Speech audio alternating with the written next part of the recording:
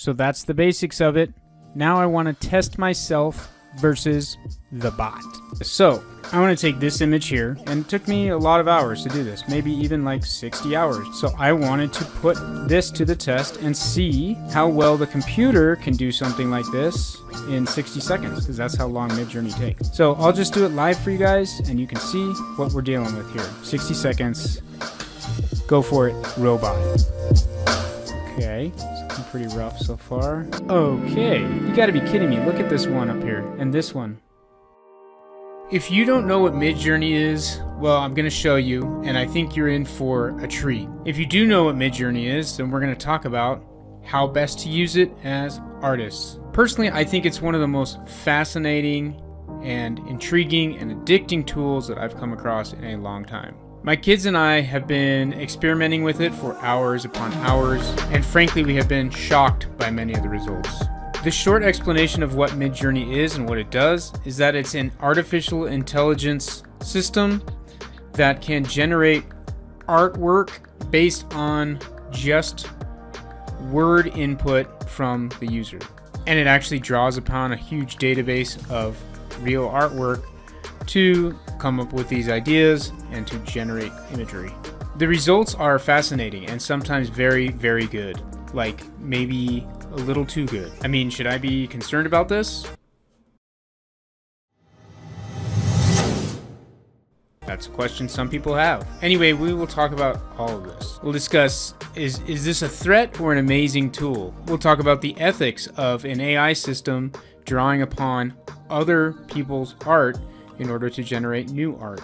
We'll talk about how you can use it right now for free, but more importantly, we'll talk about why would you use it as an ArchViz artist or any kind of artist. Spoiler alert here. I am not concerned about Midjourney. I am actually extremely excited by it. And I think that a lot of other ArchViz artists will be and should be as well. Let's get into a demonstration and I think you will see why. Okay, first I want to very quickly get you set up in, in Midjourney yourself so that you can start making your own stuff. So to do that, type in Midjourney to Google, go to Midjourney. It takes you to this weird looking page and you just say join the beta. Now it's connected to Discord so I have the Discord app on my computer. It can also take you to discord.com. You just have to accept the invite and then go to Discord and you become part of the Midjourney server. When you're in Discord, you should have your Midjourney server over here that you could be part of. So there's rules, there's FAQ, there's getting started. Basically what the getting started thing tells you is to go to these newbie rooms and here is where you type in backslash, is that a backslash? Imagine. This is how you give it prompts, okay? So imagine is a prompt. You can just click there and it gives you the prompt and then you say, uh, guy sitting at computer recording YouTube video. So it's 70% done here. Okay, there you go. So images, you could make this look like an illustration, a painting, watercolor, whatever. These are sort of photorealistic. So yeah, here's the finished versions.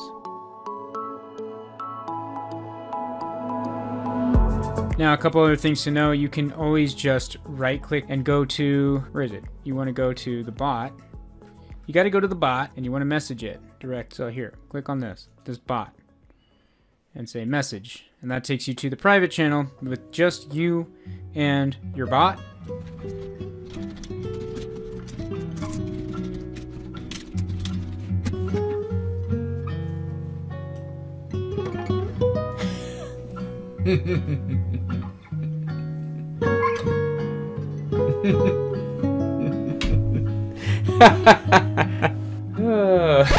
but it's not really private, okay? Keep that in mind. It is public. There are rules as far as what you can type in. There's lots of good information out there for Midjourney that shows you like how to do your prompts, how this all works, what the rules are. You can also give it prompts like subscribe Okay, and then you just hit enter again, and then it'll take you to a subscription page. You can do $10 for limited amounts of images or $30 for unlimited images. All still public, keep in mind, so it can be seen in the public gallery. And you can pay $20 extra to make it private. You can do help. So this can give you all the different information that you need. You can do settings and give that as a prompt. It'll bring up settings. These are the settings. Okay, so I'm in Midjourney version 4. It's different than Midjourney version 3 in that it's supposed to be a lot better with characters and things like that, and I find it to just give better results overall. If you look in the community showcase here, you can see all sorts of super cool things that have been created using Midjourney and some creepy things, and it actually shows you what prompts were used to do it too. So that's the basics of it. Now I want to test myself versus the bot. So, I want to take this image here, okay, which you may have seen before if you follow me anywhere. But it was for originally for my forest, my 3D environment scene, and I've put a newer cabin in here. I've even done this in Unreal Engine at this point.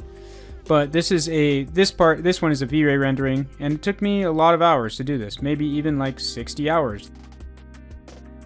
As a quick side note, if you want to learn any of this V-Ray stuff or Unreal Engine stuff, check the links below for my courses on all of these things. So this there's a lot of time involved in this. So I wanted to put this to the test and see how well the computer can do something like this in 60 seconds because that's how long Midjourney takes. So I'll just do it live for you guys and you can see what we're dealing with here. Okay, so this image, 60 hours. Let's see what the bot can do in 60 seconds. So we start with imagine. And how would we describe this image? It really tests your descriptive abilities. So we'd say A-frame cabin in the woods, surrounded by evergreen trees, warm light coming from the interior, and then you can give it like emotions or moods that you want it to evoke. We definitely need to call out blue, fogginess, and atmospheric light, volumetric light, we want it to be a wide angle shot so that it doesn't just zoom right in on the cabin. And we want to do aspect ratio. Okay, so you can do prompt kind of adjustments here at the end. Say AR, that's aspect ratio 2, 3. Let's see if that works. Now with version 4 of Midjourney, you're limited, I think, to either 2, 3, 3, 2, or the standard square. Let's leave it at that and just see what we get right here. 60 seconds. Go for it, robot. Remember, this is my work. Six, 60 hours worth of it. Let's see what the bot gives us. Okay, it's looking pretty rough so far.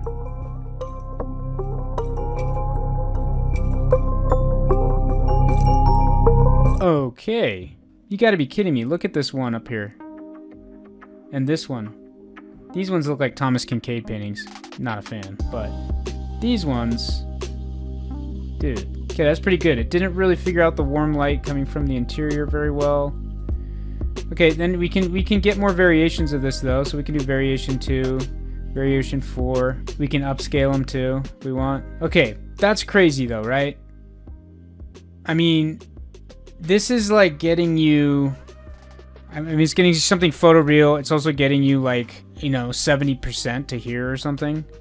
But in general, I mean, this this looks really good. But in general, I do like mine better. But this gives me some really cool ideas for what I can do, right? Yeah, blah, blah, blah. The point is, I won and I get to keep my job. Step aside, robot. So, this is where it comes into the fact that I don't think robots are going to actually replace us because, you know, I was in full control of what this was going to look like. And this is just basing it off of whatever image it, images it finds on the internet. So this is fully custom, according to the artist, and this is something generic that is spit out by the robot. However, this took 60 seconds and this took much, much longer. So, if you want like a generic image of an A-frame sitting in a forest, this is a better way to do it. If you want a very specific A-frame cabin sitting in a forest, well then there's no other way around it than to do this. So, this isn't replacing us, but it is giving us some awesome ideas and inspiration for what our cabin could look like, right? Based off a simple prompt in 60 seconds. And that's where we get to how I think this thing should be used for 3D artists, ArchViz artists, and artists of any kind. One way that we can and should be using Midjourney, in my opinion, is for what I would call stock imagery. You may have noticed that I have a bunch of images in this video that are basically like stock images, except I get to be very specific about what I want to be in the stock image and it generates it for me very quickly. And really, even if you need something really weird, like a robot and a man staring into each other's eyes affectionately, well, Midjourney has no problem generating whatever you ask it to. These are things that wouldn't exist in a normal stock imagery database. And this is a lot cheaper and a lot more effective, in my opinion, than traditional stock photography or stock imagery. Professional photos would still obviously be better in some cases, but for what I needed here, Midjourney all the way. Also, as a 3D artist, I need random images of stuff all the time. Textures is one of the big things, and I don't see Midjourney being there on textures just yet, maybe in the future. But what about something like a work of art, a generic work of art to put on the wall, or a generic book cover? I can generate those things quite easily without needing to worry about copyright infringements, or stealing low resolution images off the internet and trying to edit out watermarks, things like that. Who does that stuff anyway? Obviously, Midjourney is great for these kind of things. But now for the most exciting use for Midjourney, and that for me is coming up with concepts and ideas. Midjourney is so great for this. You may have seen me create mood boards in the past where I do sketches and gather hundreds of images from around the internet to try and plan out a rendering. Well, Midjourney is going to make that process a lot faster and a lot easier, in my opinion. It can search the internet so much faster, so much more efficiently, and it can package all those mood images, all that information that I'm trying to gather. It can package it all into a nice little single image for me. Plus, it can give me great ideas for composition and color theory and lighting. Anyway, Midjourney is extremely good at creating inspiration images for your next 3D project. It just is.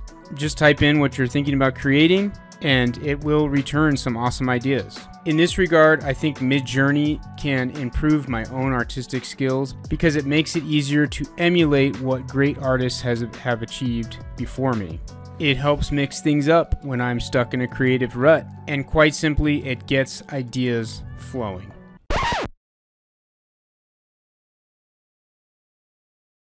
Okay, I'm going to be honest here and say that I don't fully know and understand all the complexities of the ethics of this. So I will just share my initial thoughts after using Midjourney AI. The main issue I see coming up is that the system is trained on existing artwork that is copyrighted artwork without the consent of the artist. And my thought about that is that we as humans do that all the time, but we are not nearly as effective, efficient at it, and we don't do it in such a blatant way, I would say. Well, we do, but that could be hit with a copyright infringement legally, right? My point is, I can certainly see the concern there. So the issue is that AI is really good at the process I just described. So it does maybe start to feel a little bit unethical.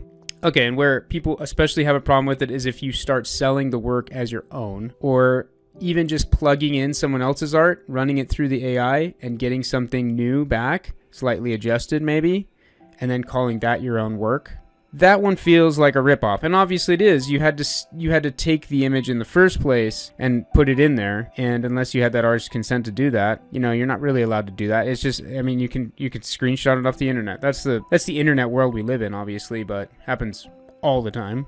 But is that ethical? I don't think so. That seems a little, that seems like it's pushing the limit. There's definitely some gray areas here. Overall, I personally don't feel bad about using the way that I've demonstrated here, mostly for inspiration purposes. And for generating weird stock images, I have no problem doing that. Selling it as my own art, that feels weird to me because there's art happening here, but I'm not the artist. Like, I didn't do any art. I typed in a few words. So it'd be weird for me to sell that as my own art. However, the things that I create, that it inspires me to create, and I in turn put in the work to create something inspired by that, that's my own art. Overall, I totally understand the fear of having your talent and your skill ripped off, and I also would agree that the laws probably haven't caught up with this technology yet. So there might be some things to figure out still to protect people's intellectual property. I also think that a lot of the claims, a lot of the arguments are based in fear of losing work to machines, right? That's a real thing. And if you were a concept artist or someone that produces stock photography, the two things that I said this is really good at, right? I would totally understand if you feel like this is a threat. But the other side of that coin is that we as artists in a digital world are always needing to adapt and technology seems to march forward whether we want it to or not, and uh, not much we can do to stop it usually. So, adapting and embracing and using these things as tools usually seems like the way to go for me.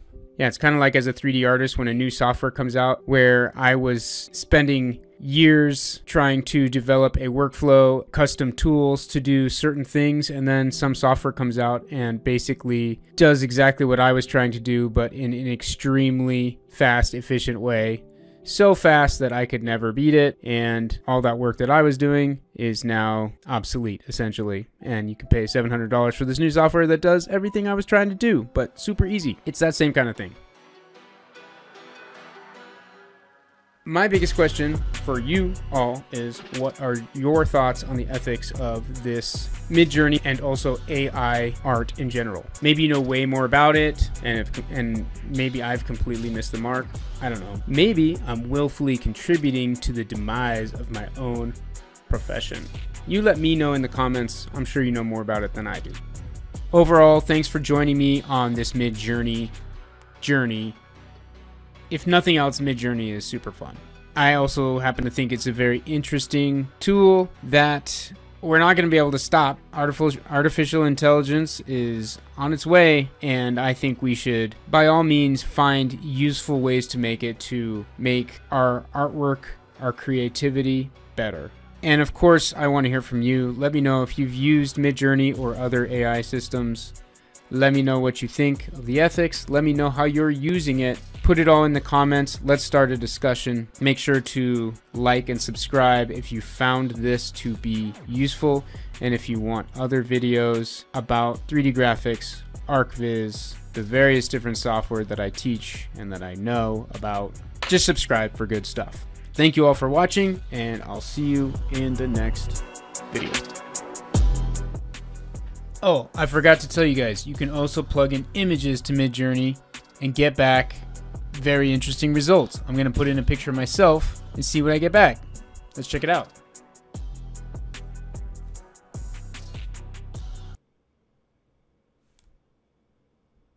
I freaking hate Midjourney.